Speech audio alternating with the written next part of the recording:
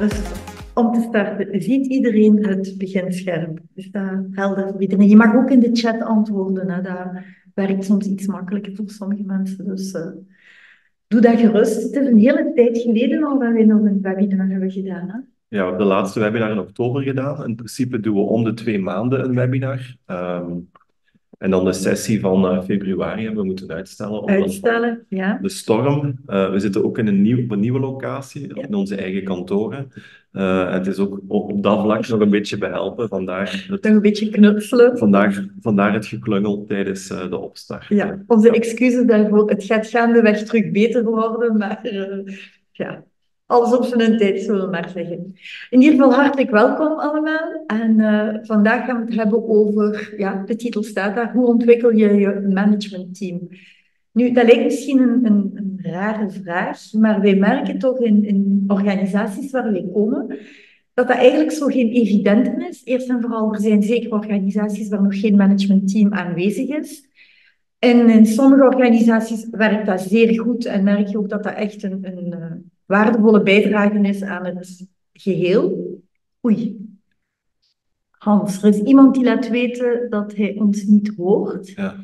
En um, ja, in sommige organisaties kan dat managementteam echt toch wel een, een, stuk performanter worden. En zijn ze eigenlijk op zoek naar tips om, om daar beter mee om te gaan. Het is een beetje in, in dat kader dat wij gezegd hebben, ja, dat is misschien wel eens een interessant onderwerp om eens op in te gaan en te kijken wat we daar kunnen bieden om jullie te helpen nadenken over deze vraag. Maar ik heb meteen een vraag aan jullie dan, en dat mag je ook in de chat zetten. Um, waarom boeit jou dit topic? Waar, waar, waar ben je eigenlijk echt naar op zoek als je in dit webinar aanwezig bent? Dus uh, zet het maar in de chat, dan pikken we het wel gaandeweg op. Terwijl wij ondertussen al met ons verhaal starten. Um, de agenda van de meeting is simpel. Zoals altijd streven wij ernaar om zeker om 13 uur af te sluiten. En uh, wat willen we behandelen in dat uurtje? Ja, dat is eerst en vooral, wat is een managementteam? Dus eventjes eens op de definitie ingaan. Wat is de rol van een managementteam binnen de organisatie? In welk type bedrijven kan je het zien? Wat is een stappenplan om van uh, ja, niets eigenlijk een goed functionerend managementteam te maken? En dan die, in die end ook, wat brengt het nu uiteindelijk op? Waarom, waarom zou je de moeite doen om te investeren in een goed managementteam? Ik zie dat er nog iemand is binnengekomen. Dus dat zijn de vragen waar we vandaag eh, proberen vanuit onze visie een antwoord op te gaan bieden. En dan in eerste instantie is er natuurlijk ja, de definitie. En... Ja, dat brengt ons bij deze Oudere man. oudere man, ondertussen al een tijdje overleden. Leden, inderdaad. Uh, maar zeker binnen kwaliteit en binnen kwaliteitsmanagement. Uh, toch wel een, een, een naam die... Uh, slaat als een klok. Slaat als een klok, hè. Ja. Peter Drucker. Mm -hmm. Maar je moet dat op zijn Engels uitspreken. Hè? Maar eigenlijk was hij een Oostenrijker. Ah ja. dat is maar voor op de Duits. Oké, okay, ja. Peter Drucker. Hm. Maar in ieder geval, ja, hij ah, staat daar ook. Hij wordt zo'n beetje beschouwd vandaag toch nog altijd als de vader van het moderne management. Hè? Zoals we management percipiëren in moderne bedrijven sinds de jaren 60, 70, uh, is hij ook actief. En uh, ja, hij is toch de man die daar heel veel denkwerk rond verricht heeft van wat betekent nu een goed management in een organisatie. En natuurlijk die quote die bovenaan staat, is uh, ja, toch wel een hele bekende. Management is doing things right. Leadership is doing the right things. En uh, ja, ik vind dat wel een heel mooie opsplitsing tussen beide. Hmm. Um, management is iets anders dan leiderschap. Dat is duidelijk. We gaan daar later nog op terugkomen. Maar management gaat vooral over ja, die dingen die je moet doen dat je die ook op de juiste manier gaat, gaat doen. Dat je die efficiënt gaat Dat je die efficiënt gaat doen. Dat je, niet met, dat je niet met zo weinig mogelijk verspilling gaat doen. Gaat dat management. Ja, daar komt het op neer. En leiderschap dan? Ja, leiderschap gaat over keuzes maken over welke dingen moeten wij doen om onze organisatie in de juiste richting te laten bewegen. Ja. Dus dat is echt meer lange termijn. Dat gaat over effectiviteit. Dus je ziet ja. hier uh, twee stukken. Hè. Het bovenste stuk gaat over dingen efficiënt doen en het onderste gaat over. Ja, inderdaad. Uh, wat ik ook wel een, een interessante. We hebben iemand die nog in de achtergrond praat. Ja. voilà, dat is opgelost. Ja. Als je aan management denkt, dan zijn er ook volgens uh, Peter Drucker, als ik het zo mag uitspreken, vier sleutelbegrippen die eigenlijk altijd zouden moeten terugkomen, waar je altijd van moet werken. Dat is één, je moet doelgericht werken. Je moet, je moet dus weten waar je naartoe gaat, je moet duidelijke doelstellingen hebben en daar ook naartoe werken. Tweede waar het management mee bezig moet zijn, is met het motiveren van zijn medewerkers. Dat is een belangrijke taak van het management. Derde belangrijke taak van een management is klantgerichtheid. Zij moeten optimaal bezig zijn met de klant en waar de klant naartoe wil en wat de klant nodig heeft. En ten laatste natuurlijk, het is de verantwoordelijkheid van een managementteam om bezig te zijn met continue verbetering en continue innovatie. En ja, hij heeft dat al jaren geleden geschreven, maar ik denk eerlijk gezegd dat dat vandaag nog altijd van toepassing is. Ja. Het heeft, zeg maar. Ja, ik zie daar twee dingen in. Een managementteam moet intern gericht zijn, namelijk dat doelgerichte, dat werknemersmotivatie. Dat zijn twee aspecten die heel erg intern gericht zijn. En het extern gerichte, dat is het klantgerichte en ook die innovatie. Gericht op de buitenwereld. Naar, eh, naar de buitenwereld, Ja. hoe we dat beter kunnen doen, inderdaad. Inderdaad. Maar goed, nu hebben we nog geen definitie. Maar wat is dan een definitie van een managementteam? Ja, dat is een, een lijf Jij, maakt dat, jij bent goed in definities. in het aflezen van definities. Ja. Eh, een managementteam, dat wordt ook soms samengevat als een MT. Hè. Een MT eh, is een samenwerkingsverband van leidinggevenden die collectieve verantwoordelijkheid dragen voor de strategische leiding, besluitvorming, operationele prestaties van een organisatie. Ehm, het team werkt samen om, vis- om visie, missie en strategische doelstellingen van de organisatie te verwezenlijken, waarbij elk lid vanuit zijn of haar expertise bijdraagt aan het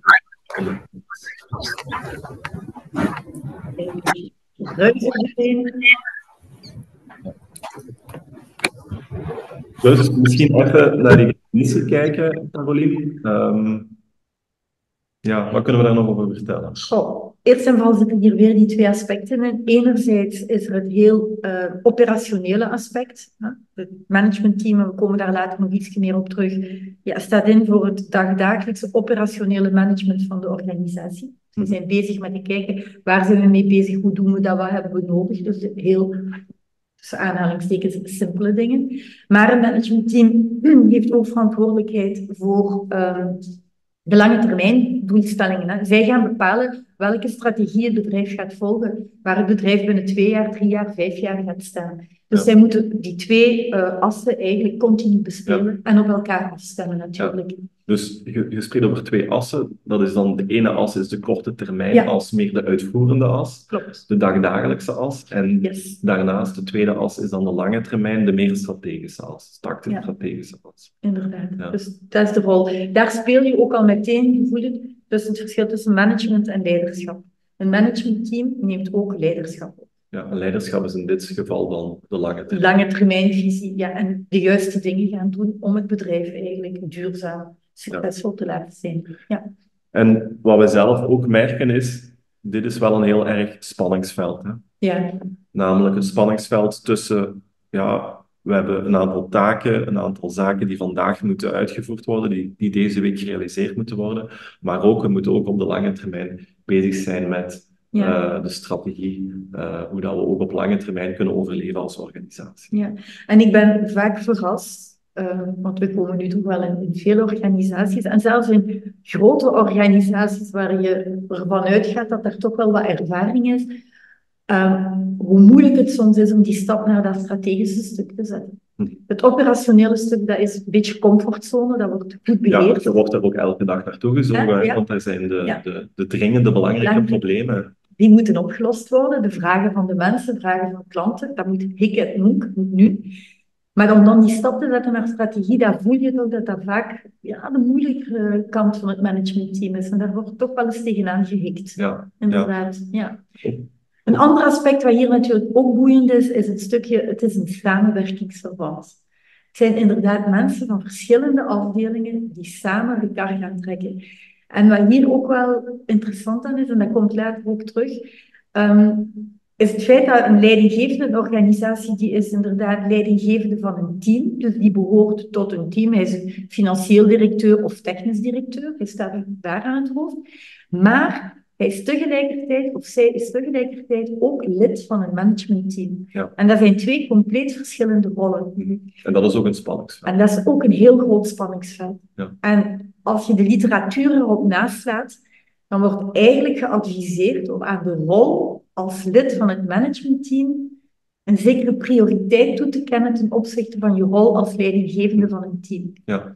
En dat is niet altijd heel gemakkelijk voor mensen. Dus dat wil eigenlijk zeggen dat je als lid van een managementteam meer energie moet steken in het laten goed functioneren van dat managementteam. En de reden daarvoor is omdat je op die manier ook meer impact kunt hebben natuurlijk. Ja, inderdaad. En ik weet niet voor jullie, en zet gerust jullie eh, indrukken of vragen in de chat, zodanig dat we daar mee kunnen. Ah, wij zijn met een lean in ons bedrijf. Ja, eh, Wouter, Wouter, vertel ons, we zijn drie jaar geleden gestart met de introductie van Lean in ons bedrijf. Er, is reeds een MT, het Lean-team geeft daarover advies. Eh, Wouter zijn vraag is, ik ben benieuwd of we vandaag iets kunnen leren, zodat wij een advies kunnen geven om zaken anders aan te pakken. Dat is, dat is top. Zeker. We gaan ons best doen om daar iets te kunnen aanbieden, absoluut. Maar goed, ehm, wil jij hier nog iets aan toevoegen? Nee, Ehm, ik merk dus een tweede spanningsveld. Ik denk dat dat, dat, dat belangrijk is in deze definitie, namelijk het spanningsveld tussen ehm, de dagdagelijkse beslommeringen en de lange termijnvisie en strategie. En het tweede spanningsveld waar je daar net Tussen de rollen. tussen de Ja. verschillende rollen. Ja, Ja. oké. Goed, Laat ons het verder over die rollen Ja. hebben. Wat is de rol van het MT, Carolien? Nu, een MT heeft natuurlijk heel veel verschillende rollen. We hebben er al een aantal toegelicht. Zoals daar staat, het operationele uitvoering. Het MT staat aan het hoofd van de operatie. Die moeten zorgen dat alles goed loopt. Dus de korte termijnvisie. Uh, ten tweede, een MT moet coördineren tussen de verschillende afdelingen. In principe zijn toch de belangrijkste afdelingen van de organisatie vertegenwoordigd in het MT. Daar kunnen afspraken gemaakt worden over hoe er moet samengewerkt worden, waardoor eigenlijk de organisatie vlotter gaat kunnen functioneren. Is de rol van het MT om dat op een bepaald niveau af te spreken en van daaruit natuurlijk in de organisatie te laten doorcijpelen. Drie lijkt mij super logisch, maar een MT moet beslissingen nemen. Ja, dat is misschien logisch, maar niet Maar- altijd evident. hè. Inderdaad, niet Om, altijd eh, evident. Als MT beslissingen te nemen. Ja, dat blijkt toch nog vaak een moeilijke. Je ziet dat daar tegen aangehikt wordt. En, en ook Ja. vooral beslissingen nemen en achter die beslissingen blijven staan. Ja. En die beslissingen Solidair ook. solidair gaan, gaan, gaan, Verdedigen. gaan verdedigen naar eh, Ja. de rest van de organisatie. toe. Dat blijft een moeilijke. Dus, maar het is wel de rol van een MT. En natuurlijk, dat zijn de afspraken die gemaakt worden over welke beslissingen worden binnen het MT genomen en welke liggen ergens anders in de organisatie. Maar het is wel degelijk de rol van een MT om dat te doen. Ten vierde, we hebben het er ook al over gehad, gaat het MT de strategische richting bepalen van de organisatie. Mhm. Hun rol. Het MT is ook verantwoordelijk voor risicobeheersing. Wat bedoelen we met risicobeheersing? Ja, dat is een stukje die externe kijk die een MT moet hebben van wat gebeurt er in de markt, wat gebeurt er bij onze klanten, wat gebeurt er bij onze concurrenten. En ja, een beetje rondkijken en kijken waar zijn wij dan zelf mee bezig? Welke risico's lopen wij? Hoe ziet de toekomst eruit? Zijn we daarop voorbereid? Daar moet een MT mee bezig zijn. En zij moeten zich afvragen van doen wij het op de best mogelijke manier? Welke risico's lopen we en hoe kunnen we die gaan beheersen en controleren?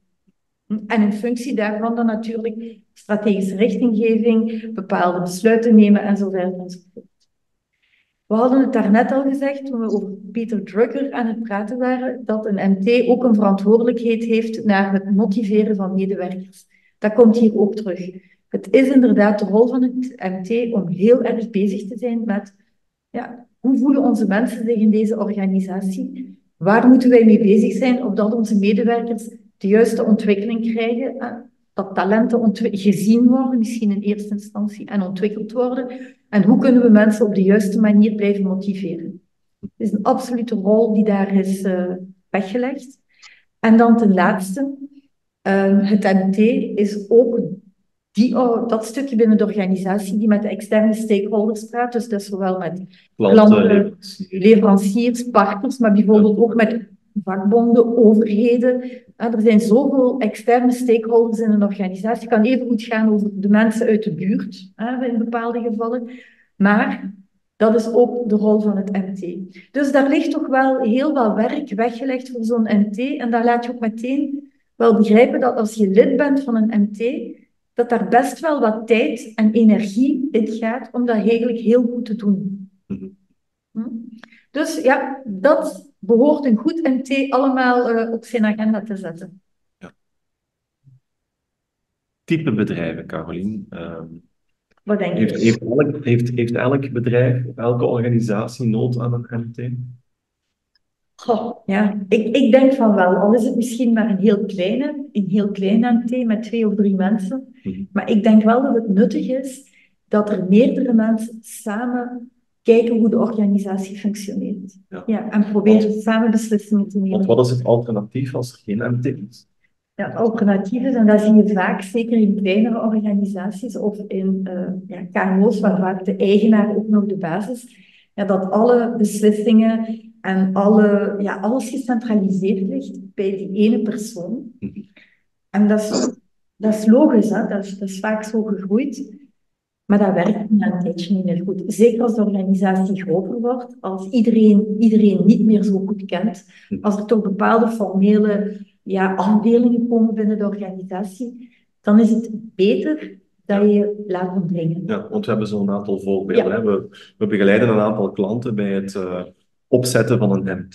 Mhm. Ehm, ja, dan kunnen we de voor- en de na ook goed vergelijken. Hè? Wat is dat, als je zo uh, bij een van uw klanten ja, kijkt, uh, wat, wat, wat is een van de voordelen van het MT of een van de veranderingen die je gezien hebt uh, op het moment dat het MT uh, gevormd werd? Wel, eerst was het natuurlijk het moeilijke, want dat is een grote verandering binnen de organisatie. Elke medewerker was ook gewend naar de eigenaar, baas te stappen om elk probleem te bedragen, elke, elk bonnetje, elke rol wc-papier, bij wijze van spreken, werd door hem afgetekend.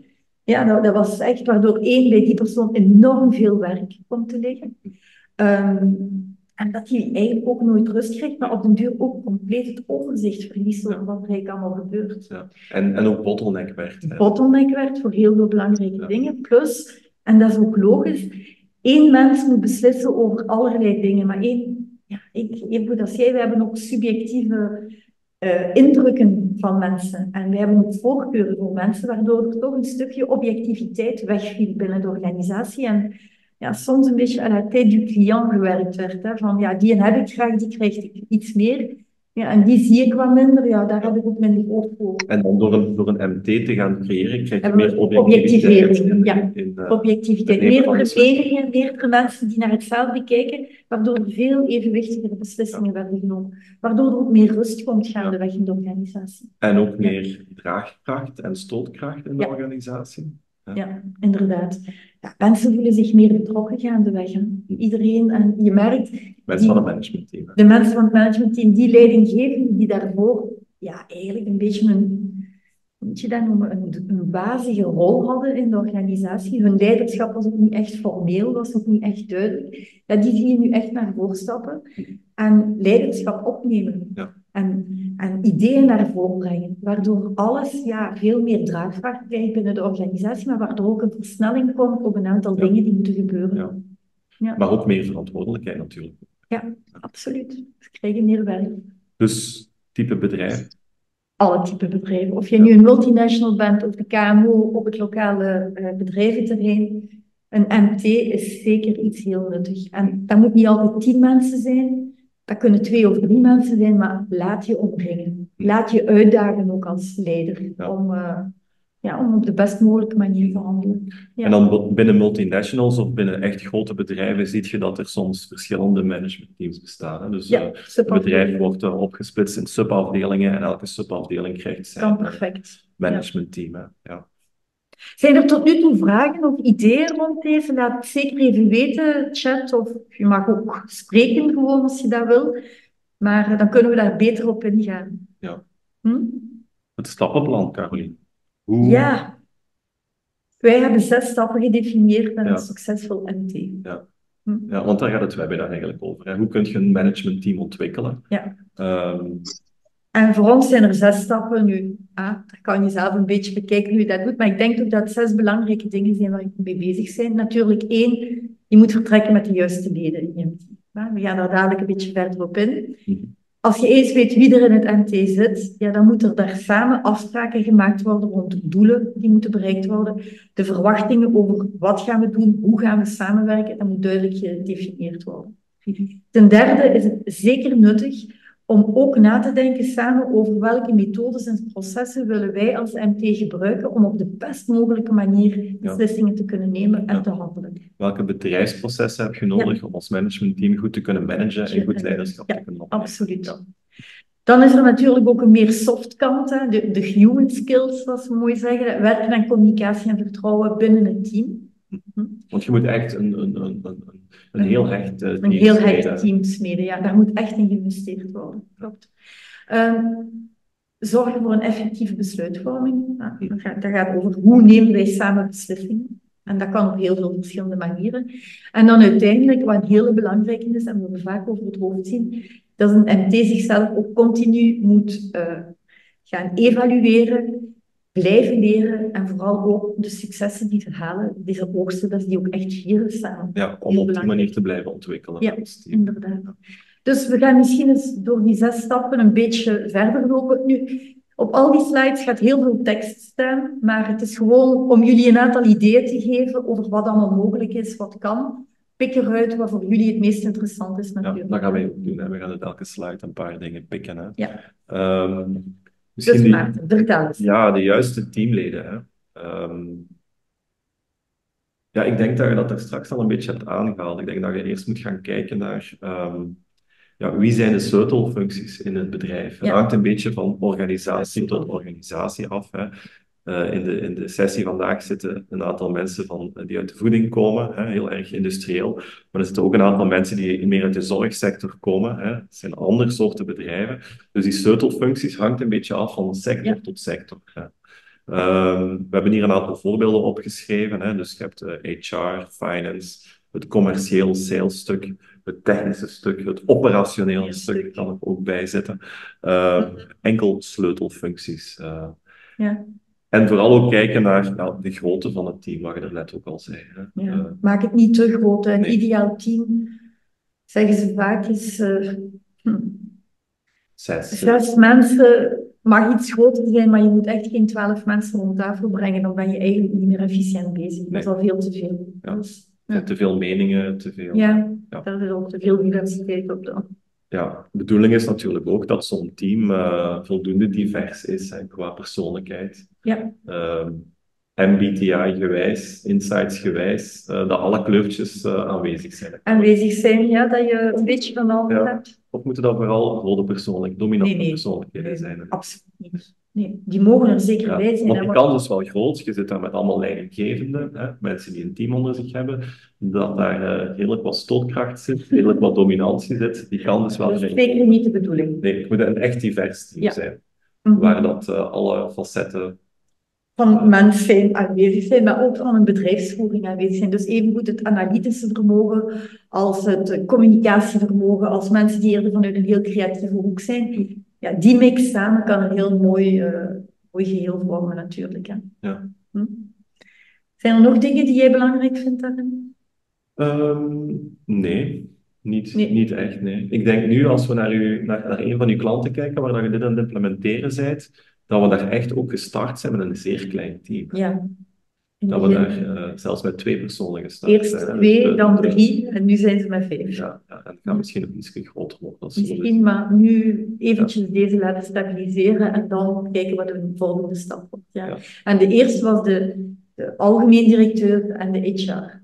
Ja. En dan is finance erbij gekomen. En dan iemand uit het operationele stuk. Ja. En nu ook iemand uit het KVGM, dus kwaliteit, veiligheid, gezondheid. Ja, omdat dat een hele belangrijke functie is binnen binnen een organisatie. Ja. inderdaad.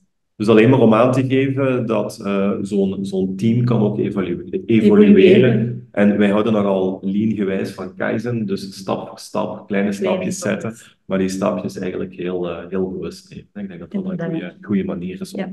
de juiste teamleden te, te selecteren. Klopt.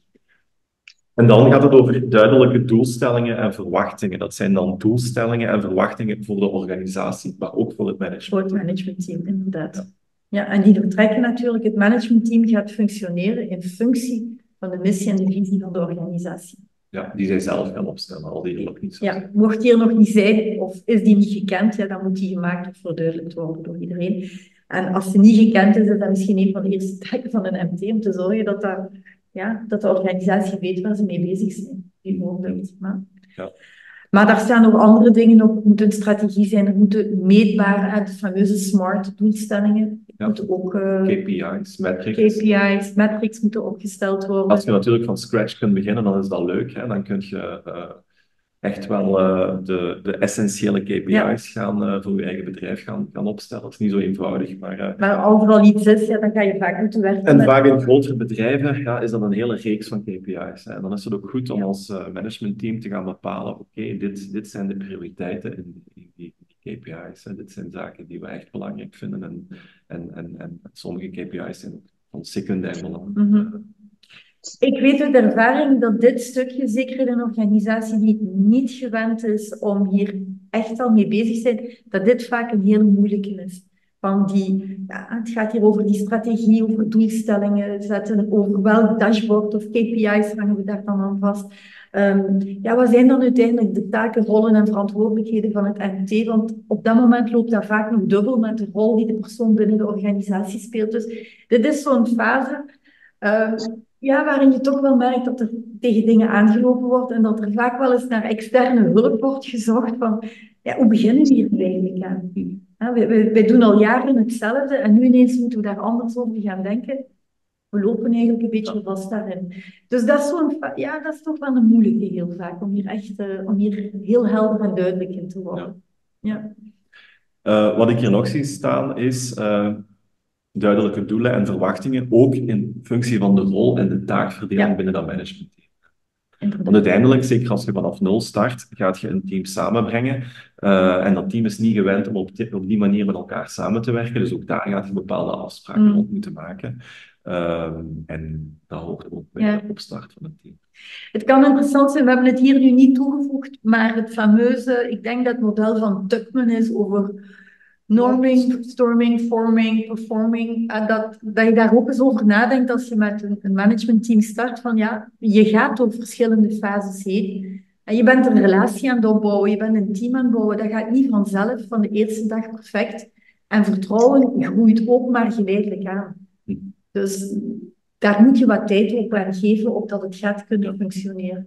Ja, en die rolverdeling, die taakverdeling, de manier waarop dat team gaat samenwerken, gaat voor een stuk heel organisch zijn. Gaat, Iedereen- gaat een beetje vanzelf lopen. Maar dan is het ook goed om op bepaalde tijdstippen daar toch eens even een stap terug te zetten en te gaan kijken, ja, hoe functioneren eigenlijk? Klopt het eigenlijk Klopt het wel of moeten we hier andere afspraken maken? Eh, Ja? en, en. Ook de juiste evenwicht te vinden. Zeker in het begin van een team merk je dat sommige mensen van nature heel veel naar zich toe trekken en anderen ja, een beetje meer die kat uit de boom kijken. Dat kan, in het begin is dat wel oké, maar op een bepaald moment moet er toch meer evenwicht komen in taakverdelingen en in workload ook die naar mensen wordt toegeschoven. Dus ja, dat zijn allemaal fases waar je eigenlijk door moet op een Ja. bepaald moment. Dus deze stap, als ik dat even samenvat, gaat over missie, visie, gaat over strategie, eh, gaat ook over taakverdeling, rollen, verantwoordelijkheden van de, Ja. van de leden zelf. En eh, gaat ook over eh, ja, prestatieindicatoren, Ja. dashboard, prestaties die gemeten. Hm. Ja. Eh, ik zie dat iemand iets wil zeggen. Ja, horen jullie mij, Maarten? ja, Absoluut. Hallo. Ja. Eh, goedemiddag, ik ben Hans van Mechelen. Ik heb ik een vraagje. Ehm, in de twee stappen die je nu eh, als eerste stappen geeft, je- je zegt eerst het eh, team gaan samenstellen en dan eh, als tweede stap doelen en verwachtingen eh, gaan definiëren. Moet je Mhm. die twee stappen niet omkeren? Moet je niet eerst starten met doelen en verwachtingen? Nee, in, in, in realiteit gaan die stappen eigenlijk vrij parallel lopen. lopen met elkaar.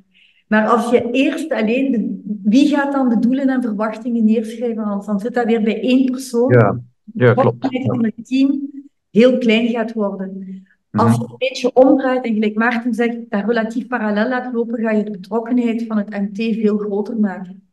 Ja. Kunnen zij mee gaan bekijken en beslissen ja, hoe het allemaal Mhm. gaat lopen.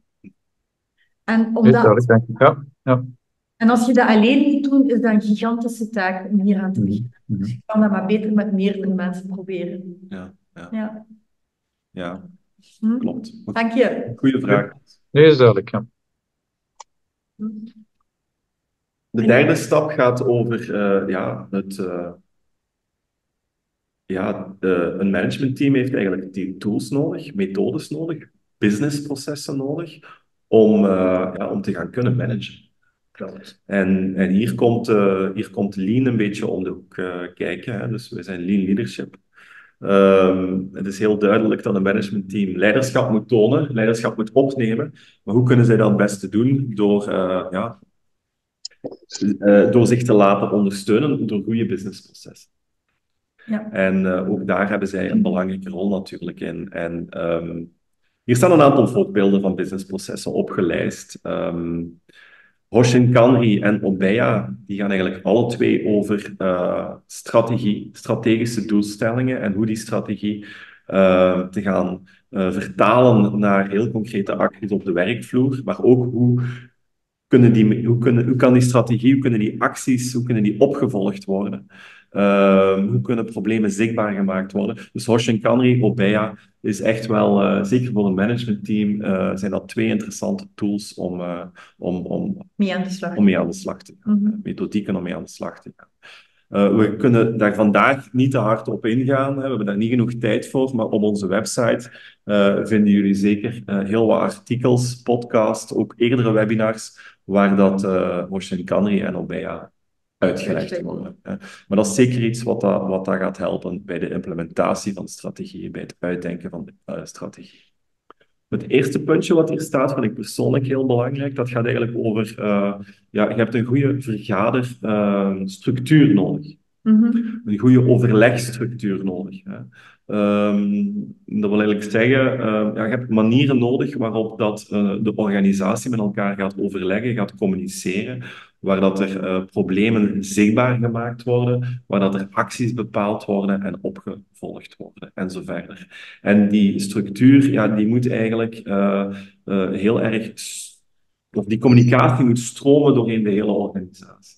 Ja. En daar moet een heel efficiënte structuur voor opgezet worden.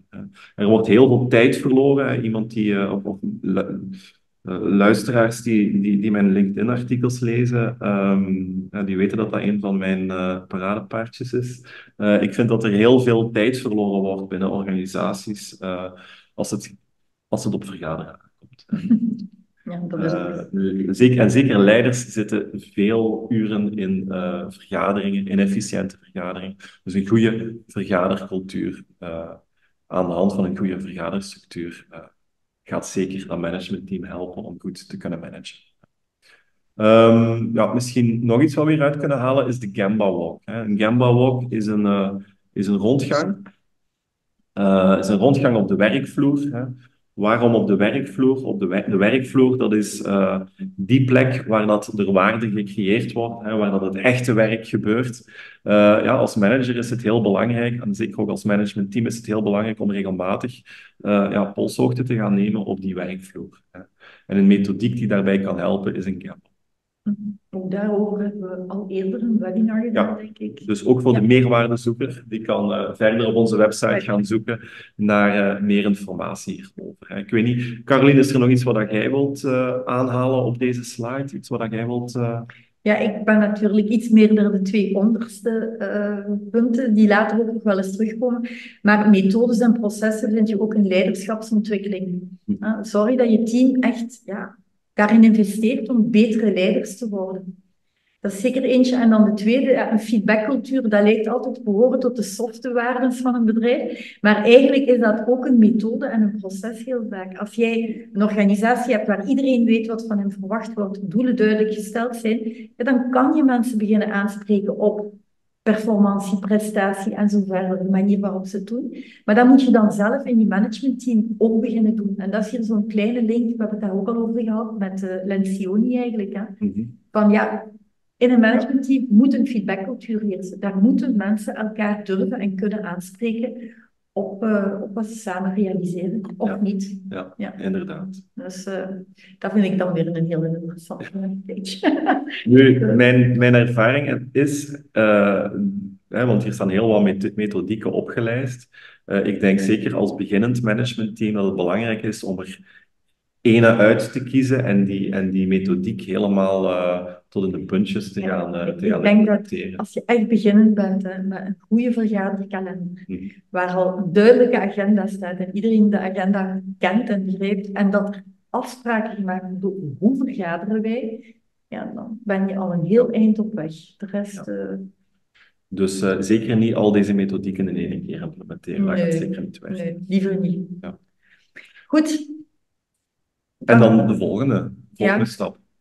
Hier raken we meteen aan waar ik daarnet eigenlijk over sprak. Een managementteam, als je wil dat dat een absolute positieve bijdrage levert aan de organisatie, dan moeten die een voorbeeldfunctie hebben.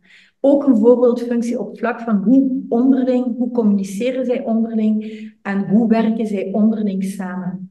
Mensen kijken daarnaar en als zij merken dat dat een uh, vechtende bende kleuters zijn, ja, dan is dat wat er in de rest van de organisatie ook gaat gebeuren. Dus als managementteam heb je absoluut de, de, belangrijke rol om een voorbeeldfunctie te zijn. En dat betekent dat je daar echt moet in investeren. Hier staan heel veel tips en waarschijnlijk hebben jullie hier nog veel andere. Maar maak tijd en ruimte om elkaar te leren kennen, ook als mens. Dat is een stukje informele tijd die als managementteam samen moet doorbrengen. Samen gaan eten, samen iets, iets ludiek doen, maakt niet uit wat. Maar elkaar echt leren kennen is super gemakkelijk. Is super... zoeken als u informatie wilt vinden in een groot werkblad of als u altijd op zoek bent naar hetzelfde soort informatie. Hier is iets zoeken werkt veel als een telefoonboek, waarbij u begint met het stukje gegevens dat u kent, iemands naam, om erachter te komen wat u niet weet, zijn of haar telefoonnummer. Als voorbeeld voer ik deelnummers in. Wacht, Sophie, kunt jij u uh, mute zetten? even op mute zetten? Ja, dat is ja, dankjewel. Maar hier staan ook andere dingen op die, die op zich uh, gezond verstand zijn, maar waar we, als we heel eerlijk moeten zijn, we allemaal wel eens tegen zondigen. Gemaakte afspraken respecteren, elkaar daarop durven aanspreken, um, veiligheid creëren voor elkaar. En dan hebben we het vooral over die psychologische veiligheid. Hè. Daar, daar zijn heel veel methodes die je kunnen helpen om dat te doen. Ik vind, dat, ik vind het woordje vertrouwen heel belangrijk. Hè. Dus uh, een managementteam, uh, de leden van een managementteam moeten elkaar kunnen vertrouwen. Hè. Uh, en, en, en vertrouwen betekent voor mij um, elkaar iets gunnen. Hè. Ook. en het gevoel hebben dat je, ja, dat je iets voor elkaar over hebt. Dat je, dat je het goed met elkaar meent. Hè. Dat is eigenlijk heel, heel belangrijk. En dat is niet zo evident. Hè. In, een, in een team van vijf, zes mensen, ehm, ja, eigenlijk een goed managementteam met elkaar blindelings kunnen vertrouwen. Ja.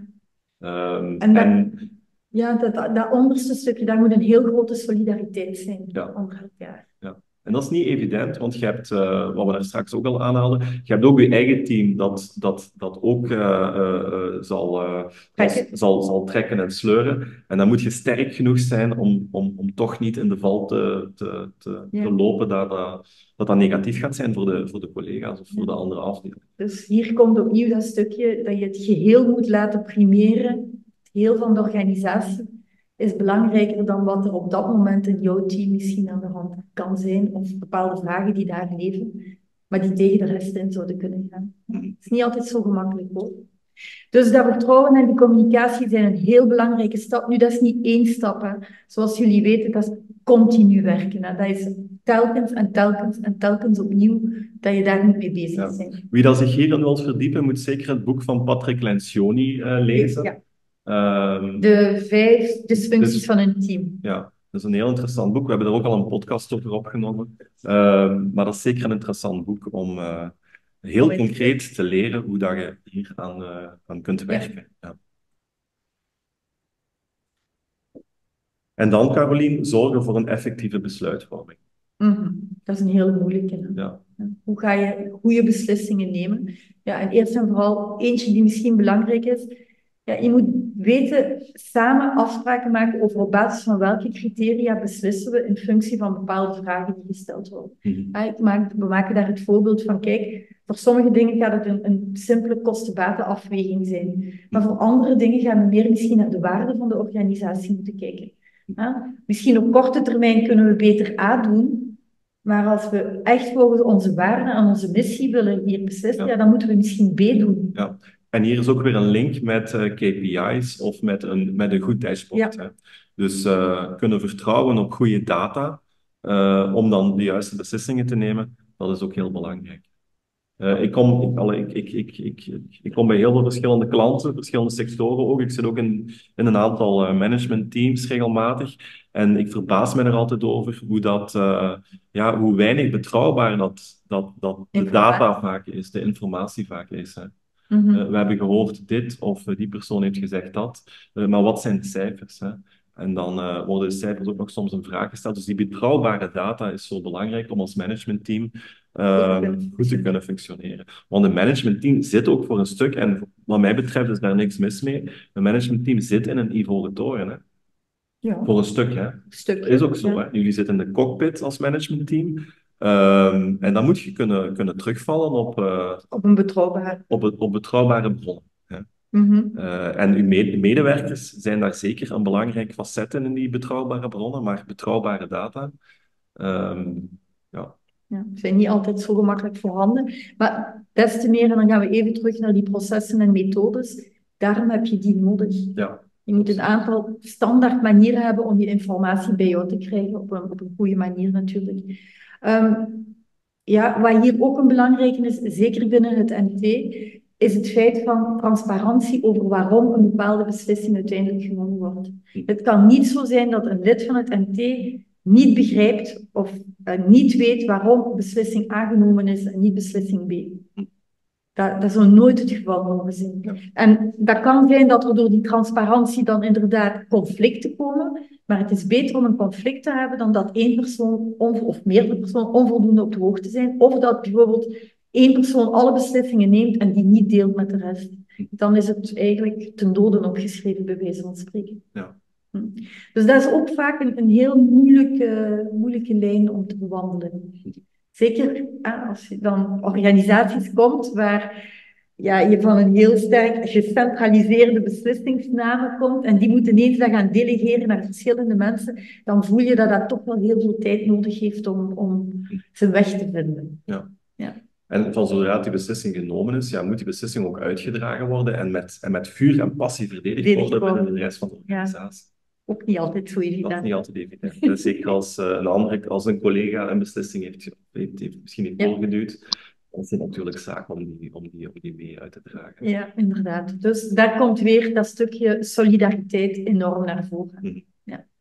ik, ik heb het ooit meegemaakt in een, in een managementteam.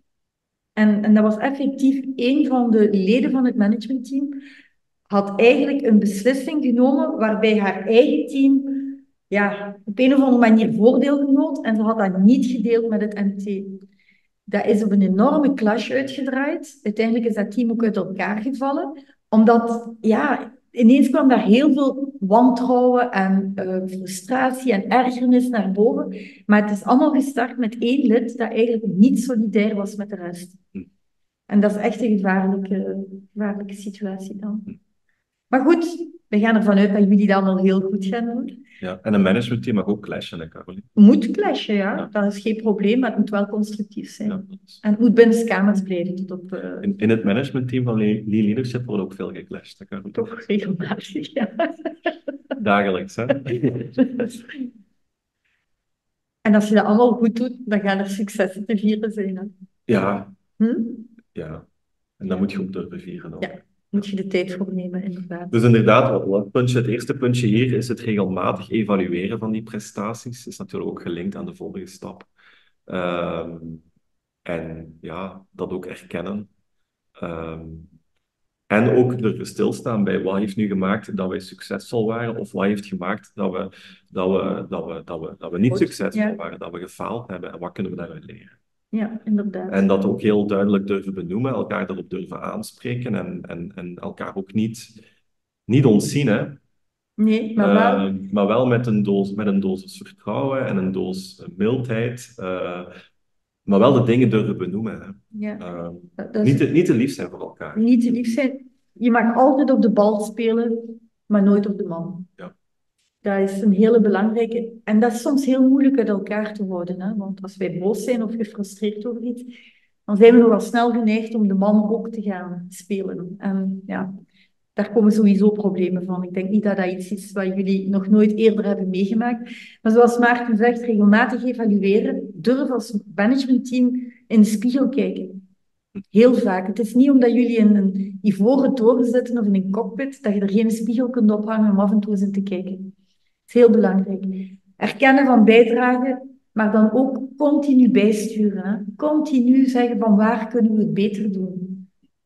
En, en dat is het stukje, ja, continue verbetering is zo, zo belangrijk in het functioneren van elke organisatie uiteindelijk. Ja. Hm? Dit gaat ook over lessons learned en, het, en het, uh, ja, de, de, de lessen na uh, de realisaties leren trekken. Uh, een lean methodiek die daarbij helpt is de Yoko 10 methode. Yoko 10 methode is een, oh, binnen lean zijn dat altijd stappenplannen, is ook een stappenplan om ja, successen te ontleden en, en, en, en, en ook mislukkingen te ontleden en daar de juiste lessen uit te leren. Die ken ik nog niet. Daar moeten we een podcast over maken. Voilà, we daar een podcast over maken. Goed. Dus dat zijn zo die zes stappen hè, waar je... Ik zit er nog eens bij. Min of meer... Hè, sommige, zoals we zeiden, het lijkt allemaal zeer mooi, lineair, achter elkaar. Natuurlijk niet. Daar zitten zaken in die parallel voor een stuk gebeuren. Daar zitten ook loops in. En je gaat bepaalde dingen continu blijven doen. Maar laten we het dan zes dingen zijn waar je als managementteam constant moet je ogen op houden. En, en evalueren, opnieuw in de spiegel kijken en beter maken. Hm? Nu, je hebt dat allemaal gedaan, je bent daarmee bezig, je investeert daar heel veel tijd, geld, energie en moeite in. Waarom doe je dat dan eigenlijk? Wat brengt een goed functionerend managementteam op aan een organisatie? Ja, ik denk dat we nu een paar open deuren gaan doen. Ja, waarschijnlijk wel, maar ik vind het toch een leuke. Eerste, Maarten. Meer rust in de organisatie? Ja, ja. breng rust. En dat kun je effectief ervaren. Ja. Je, kunt je dat wel Ja, ik merk dat wel. Dat het, in het begin is dat nog een beetje woelig. Hè? Dat is chaotisch, er worden nog veel vragen gesteld. Maar eens dat je voelt dat dat managementteam een beetje begint te functioneren, ook begint te communiceren op een, op een goede manier, dat er wel wat meer rust komt. er komt duidelijkheid in de organisatie. Duidelijkheid. Duidelijkheid. Hè? Die, En er is een toekomstvisie. Mensen beginnen ook te voelen, oké, we zijn hier bezig met de next step. Waar zijn we naartoe aan het gaan? En dat brengt rust. Dat is een die jij leuk moet vinden en minder fouten met verspilling. Ja, dat is het gevolg. Uh, ik denk inderdaad, die, het is belangrijk om juiste beslissingen te nemen. Mm. En al doorheen heel de presentatie, doorheen heel het webinar, zijn er een aantal redenen naar boven gekomen, maar die evenwichtige beslissingen, ja, die kun je als, uh, als bedrijfseigenaar of als uh, plantmanager of als unit manager niet alleen nemen. Hè. Mm. je hebt daar een team voor nodig. Ja, en alleen gaat dat niet. Je moet daar verschillende standpunten samenbrengen, je moet er ook verschillende verantwoordelijkheden samenbrengen. Um, zodat je de juiste beslissingen kunt nemen. En hoe juistere beslissingen dat je kunt nemen, ja, hoe, hoe efficiënter dat je dan ook uh, gaat zijn in het, in het uh, aanpakken van de toekomst en in het oplossen van ja. issues. Ja. Ja. Dat is een stukje hetzelfde. Hè? Gelijkaardig, hè? verbeterde operationele efficiëntie. Door betere coördinatie in dit stukje ook. En dan wat we ook merken, en daar is ook veel onderzoek naar gedaan, dat bedrijven waar een goed functionerend directieteam, managementteam aan het werk is, merk je dat de medewerkers zich gewoon beter voelen. Dus... Ik, wil, ik wil misschien nog eens heel eventjes terugkomen op een derde puntje. Ja. Ik ben iets te snel overgegaan. Wat ziet is in, in, in, in een middengrote organisatie, dat is dat er toch wel silos bestaan. Dus elk departement leeft zo'n beetje op zijn eiland. Uh, het is natuurlijk ook de taak, eh, een van de rollen van het managementteam, om die silos af te breken en ervoor te zorgen dat, uh, ja, dat die afdelingen echt gaan leren samenwerken. En een goed functionerend managementteam zorgt ervoor dat die, dat die afdelingen echt leren samenwerken. En, uh, en die, die stuurt daar ook in die richting. Hè? Ja, absoluut. Ja. Ja, en deze is ook een interessante en meer groei en een betere concurrentiepositie. Ja, ja door die focus op innovatie en op strategie. Ja, inderdaad. En zo zijn er nog een paar. Hè. Opnieuw, meer innovatie ook. Werkt ook. Hè. Bedrijven waar een goed functionerend managementteam is opnieuw. Hè. Er is meer cohesie, mensen werken beter samen. En daar waar veel ideeën worden uitgewisseld en mensen elkaar respecteren, ja, daar gaan ook gewoon veel meer nieuwe ideeën naar boven komen. En mensen gaan ook durven aan de slag gaan met die ideeën, omdat ze vertrouwen hebben. Dus dat is een hele belangrijke. Je wordt als organisatie ook, uh, ja, je staat bekend om sterk leiderschap, visie, cultuur. Ja, je gaat gewoon de betere elementen in de markt aantrekken. Je gaat meer talent kunnen aantrekken als organisatie. En dat zie je echt vaak. Ik, ik, ga nu even een beetje cruisen met van die bedrijven waar het allemaal een beetje met haken en ogen aan elkaar hangt. Ja, iemand die echt goed is, die wil daar niet werken. Die kent zijn waarden en die wil die daar gewoon niet neerleggen. En de goede mensen zijn de eerste die vertrekken uit die organisaties. Ja. Dus het is een oproep om, uh, om daar echt mee aan de slag te gaan. Ja, misschien ook op individueel niveau. Ik heb zelf ook in een aantal managementteams gezeten in mijn carrière. En uh, ik moet eerlijk zeggen, ik heb in sommige teams gezeten, Carolien. Uh, ja, we hadden dan op maandag namiddag een, een, een volledige namiddag een, een, een, een vergadering, een managementvergadering. En uh, ik, ik, kwam daar altijd buiten, back af. Mijn energie was volledig leeg. Batterijen waren plat. Uh, omdat het team gewoon niet goed in elkaar ging. Uh, omdat, ja, het, het, was te moeilijk. Het kostte te veel energie om daar echt een goede impact te hebben. En in een goed draaiend managementteam, ja, daar krijg je energie. Komt je beter buiten. En, en, en, en daar gaat uw impact als u als persoon ook, ook, ook veel groter zijn. Ja, inderdaad. Dus je kweekt talent. En dan ja, een betere reputatie, dat is duidelijk. Dat, dat sluit een beetje aan met de concurrentiepositie. Maar ja, je gaat als bedrijf gewoon een betere uitstraling hebben. Klanten voelen dat, partners voelen dat. Dus daar kan je zeker dan op bogen. Opnieuw, en dat sluit een beetje aan met innovatie, daar gaat het om flexibiliteit en wendbaarheid. Hè. De organisatie voelt zich beter, dus je kan ook sneller op veranderingen ingaan. Mensen gaan meer durven, ook het managementteam durft mee, dus de mensen gaan ook mee snel gaan kunnen schakelen. En ze vertrouwen er ook op dat het managementteam de juiste beslissing neemt. En dat is een hele belangrijke, hè? Dus, want anders dan, dan stagneert alles in de organisatie. En ten laatste, dat is wat we natuurlijk allemaal willen, hè? dat is betere financiële resultaten een goed functionerend managementteam, dat zijn best doet en dat de juiste beslissingen neemt, dat kan niet anders dan in die end ook betere resultaten opleveren. Dat is een uh, no-brainer in mijn ogen. Er zijn natuurlijk er heel veel fout loopt in de markt, maar een goed managementteam heeft het misschien zien aankomen. Hm?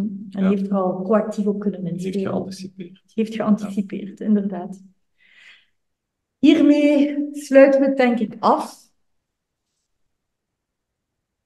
Wij danken jullie en we vragen ons af of jullie hierover nog vragen hebben. Ja, of opmerkingen. Of, opmerkingen of ideeën die je wilt delen vanuit eigen ervaring of zo. Want wij gaan er natuurlijk relatief snel door, hè, rekening houden met de tijd en de format.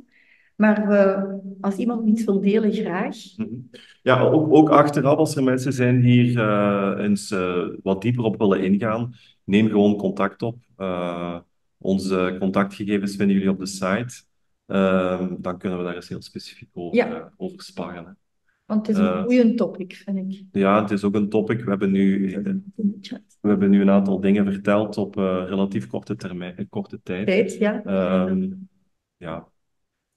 Doorgegaan. We zouden hier nog, nog, nog veel dieper op kunnen en op willen, willen ingaan. Absoluut. Ja. Maarten, de presentatie die jullie gegeven hebben, bestaat die ook op jullie website? Nog niet, maar uh, deze uh, opname die, uh, die gaan we postproduceren dit weekend. Um, en dan in de loop van volgende week krijgen jullie een mailtje naar de opname toe. En, en, en, en, en daar zit ook een link naar de presentatie toe. En ik ga ook een link toevoegen naar al die verschillende topics, topics die aan bod zijn ja. gekomen, zoals Washington en zo verder, Lencioni, die ja. zaken. Ja, ja, dat gaan we doen. Dank u wel. Dus doornemen. Ja. Hm. Andere okay. vragen of ideeën? Nee. Heel interessant, dankjewel. Graag gedaan. En we zijn mooi binnen de tijd gebleven. Dat is ja. wat een goed MT dus ook doet. Hè. Eindeloze meetings uh, ja. meestal contraproductief. Nou ja, Sebas gaat je zeggen dat wij een goed MT zijn. Ja, ja, nee. Maakt een toe wat ruzie, dus komt dan wel Ja, dat moet. En we hebben visie. Maar in een goed MT wordt ook af en toe. Absoluut. Wij wensen jullie een heel fijne middag nog en uh, alvast een fijn weekend. En uh, jullie weten ons te vinden als er nog vragen zijn, natuurlijk. Ja, goed.